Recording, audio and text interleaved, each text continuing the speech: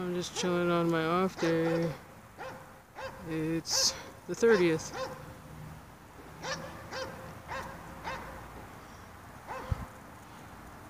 There goes another helicopter. I don't know, they just chill around my apartments.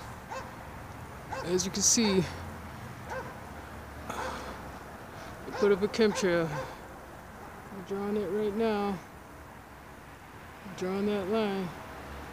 I can hear him coming on the other side of the helicopter. Uh, maybe he's hiding from me now.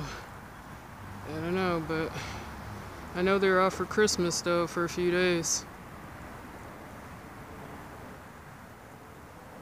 I guess they're back for the new year.